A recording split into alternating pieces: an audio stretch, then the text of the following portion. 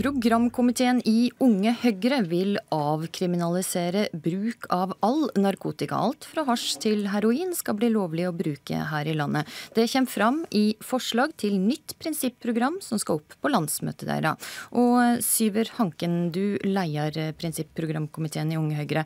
Hva vil det oppnå ved ei full legalisering? Altså, for det første så lurer vi oss sjøl hvis vi tror at forbudslinja plutselig kommer til å begynne å fungere igjen. Det eksisterer allerede i dag et marked for narkotika som er åpent 24 timer i døgnet, sju dager i uka. Enten det er på internett du bestiller det, eller du finner det på gata, så er det allerede i dag et marked. Spørsmålet er om vi da skal fortsette å la det få lov til å fungere i uregulerte former, eller om vi skal flytte det inn i strengt regulerte former. Og la meg bare få understreke det med en gang. Dette her er ikke snakk om noe frislipp. Det skal fremdeles være strenge reguleringer reguleringer på hvem som kan kjøpe, når de kan kjøpe og hvor de kan kjøpe. Vi vil også ha ulike reguleringer for ulike rusmidler, fordi noen er farligere enn andre. Ja, Hvem skal f.eks. få lov til å kjøpe cannabis, da? Altså, cannabis er jo et av de minst farlige rusmidlene. sånn at uh, Uten at vi har en ferdig skissert løsning på akkurat hvordan dette kommer til å se ut, så er det åpenbart at det er de, et av de rusmidlene som kommer til å være mer tilgjengelig. Og hvis vi Hva med prøver... heroin, da, f.eks.? Hvem skal få kjøpe det? Nei, Der mener vi at eh, det burde for være en slags rettferdiggjort da, i hermetegn grunn til at man burde få det. Der burde det være en lege involvert. Det kan f.eks. tas inn i LAR-ordninga, som vi allerede i dag ser fungerer godt. I Sveits har man gode eksempel på at man har egne heroinklinikker. Det finnes veldig mange ulike måter å regulere dette på. Spørsmålet er om vi vil fortsette å la det fungere på en, sånn som i dag, på en åpen, uregulert russcene, eller om vi skal flytte det inn i ordna former. Hvem er det som skal stå for produksjon og distribusjon og salg? Vil det være en statlig oppgave, eller skal private ta seg av dette? Altså, Vi ser nok for oss at dette er staten som kommer til å ta ansvar for. Men eh, som sagt, for, fordelen med å være en prinsipprogramkomité er at vi slipper å komme med alle de nøyaktige løsningene. Dette må jo selvfølgelig også utredes sikkert mange ganger.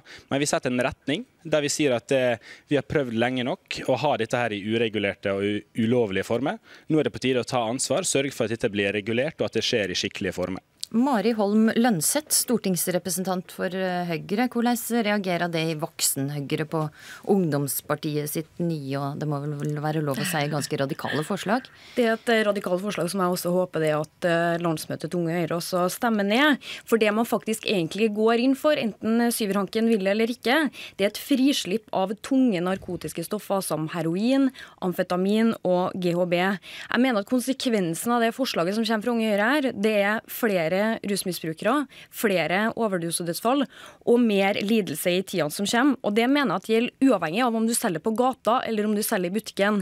Når du øker tilbudet, sånn som Unge Høyre her foreslår, så tror jeg også at det vil nå ut til flere. Og jeg mener også at det sender et ganske alvorlig signal om at denne type eh, rusmisbruk ikke er så alvorlig som det, og det mener jeg tar samfunnet vårt i gal retning. Hanken, vil ikke flere begynne med narkotika når det faktisk er lovlig å kjøpe det og bruke det? Det er veldig lett å tro tro og tenke det, men hvis du ser på sånn som de f.eks. har gjort det i Sveits, der har man egne heroinklinikker der de som er tunge rusmisbrukere og har, som jeg sa i sted, et rettferdiggjort på en måte behov for tunge rusmiddel, får det. Da fjerner du også de åpne russcenene som nettopp bidrar til rekruttering til de samme miljøene. Her i Bergen for eksempel, så kunne jeg når som helst gått over Puddefjordbruen og oppsøkt et sånt miljø. Hvis det hadde skjedd i ordna former, hadde ikke det miljøet vært der.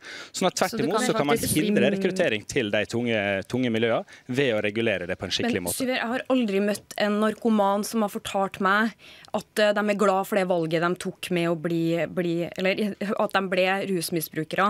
Jeg har derimot møtt veldig mange som forteller dem at de lever i en lidelse som de ikke unner noen andre å stå i.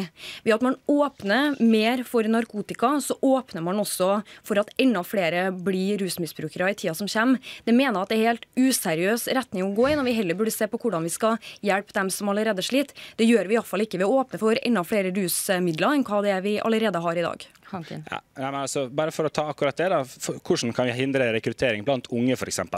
Det man eh, ser i USA, der man, i noen stater der man har legalisert det, er at nettopp fordi at du kan begynne å regulere det også blant unge, så går bruken blant unge ned. Sånn at det at det er noe sånn automatikk i at hvis du regulerer dette strengt, og at det da skal bli mm. et slags frislipp der flere begynner å bruke det, det er på ingen måte gitt. Så du, du vil legalisere for å få mindre bruk av narkotika?